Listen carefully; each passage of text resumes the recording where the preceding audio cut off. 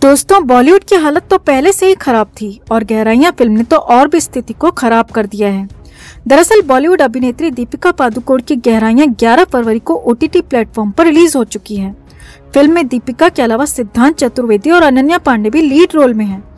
Film को जिस जिसने भी देखा है, वो बॉलीवुड की सोच पर, दीपिका के कैरेक्टर पर बस थू थू किए जा रहा है। यहाँ तक कि फ़िल्म क्रिटिक के आर के उर्फ़ कमाल आर खान ने फ़िल्म का रिव्यू करते हुए इसे सॉफ्ट पॉन करार दे दिया।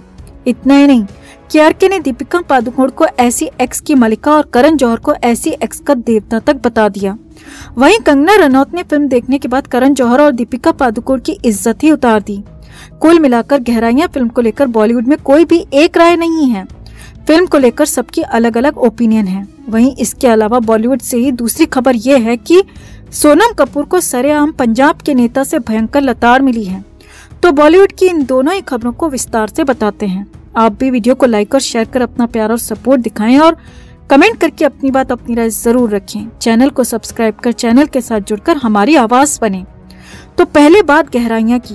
तो के ने करण जौहर और दीपिका पादुकोण को लेकर काफ़ी कुछ कह दिया। के ने लिखा, इन लोगों ने फ़िल्म को हिंदुस्तान के 0.001 परसेंट लोगों को ध्यान में रखकर बनाया है।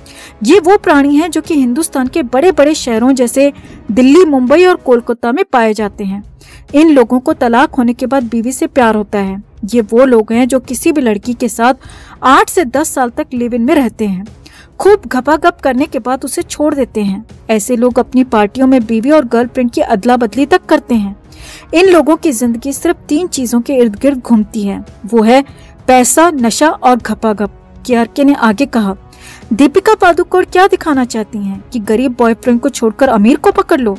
जैसे कि दीपिका ने अपनी खुद की ज़िंदगी में किया, कभी मालिया के बेटे को तो कभी रणबीर कपूर को, और शादी किसी और से ही की, वहीं करण जौहर के लिए के ने लिखा, ये भारत की 50 परसेंट आबादी को बर्बाद करके छोड़ेगा। युवाओं को तबाह करने का ठेका करण जौहर ने ले रखा है।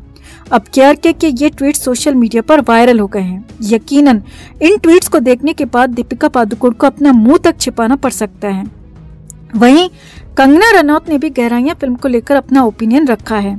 एक्ट्रेस ने इस फ़िल्म को बनाने वालों को बुरी तरह लताड़ा है और कहा है कि इस फ़िल्म की तुलना पोर्नोग्राफी से करनी चाहिए। कंगना ने इंस्टाग्राम पर फ़िल्म को लेकर ज़बरदस्त कटाक्ष किया।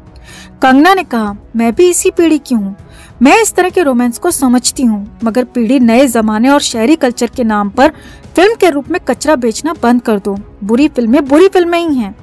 कोई भी स्किन शो या पोर्नोग्राफी इससे नहीं बचा सकती। ऐसी फ़िल्म बनाने से बॉलीवुड और भी बर्बाद हो जाएगा। तो कुल मिलाकर गहराइयों को लेकर न तो बॉलीवुड में और न ही दर्शकों में किसी भी तरह का क्रेज है। ओटीटी प्लेटफॉर्म पर भी फ़िल्म को कोई खास रिस्पांस नहीं मिला है। दर्शकों का कहना है कि अगर उन्हें यही सब देखना है तो ऐसा कंटेंट तो कहीं और भी देखा जा सकता है। वहीं बात सोनम कपूर की करें तो सोनम कपूर ने हाल ही में हिजाब विवाद मामले में अपने इंस्टा पर एक स्टोरी शेयर की थी, जिसमें सोनम ने सिख पगड़ी पहने और हिजाब वाली महिला की फ़ोटो शेयर की और लिखा कि अगर सिख की पगड़ी चॉइस हो सकती है तो हिजाब क्यों नहीं? अब सोनम कपूर अपनी पोस्ट पर बुरी तरह ट्रोल हो गई आखिरकार सोनम को ये पोस्ट हाथों हाथ डिलीट भी करनी पड़ी।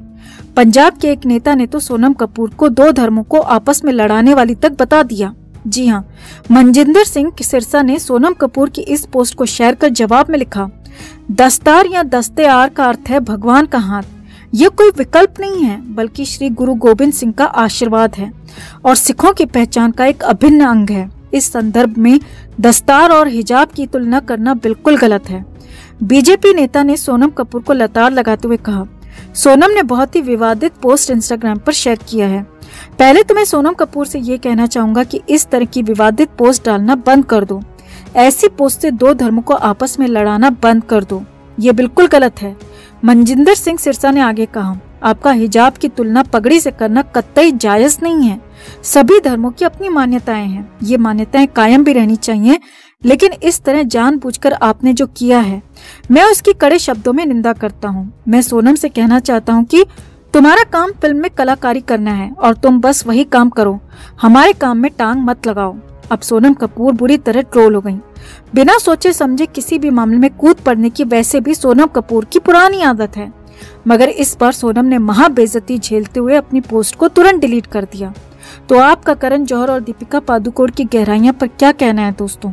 क्या वाकई में ये फ़िल्म रिश्तों की जटिलता को दिखा रही है?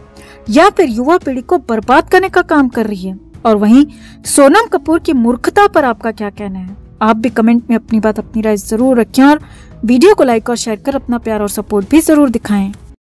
पचहत्तर साल देश के विविध प्रधानमंत्री और मिनिस्टर्स भारत देश को दिन दिन बहुत ऊँचा ले गए।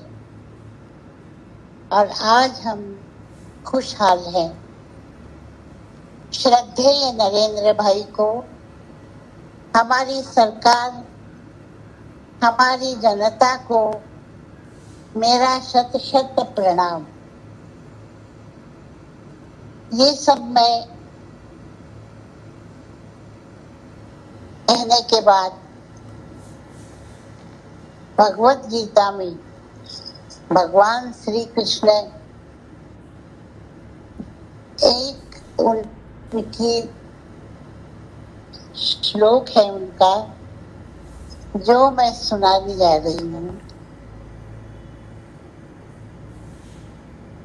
यदा यदा हि धर्मस्य ग्लानिर्भवति भारत अभ्युत्थानमधर्मस्य तदात्मानं सृजाम्यहम्।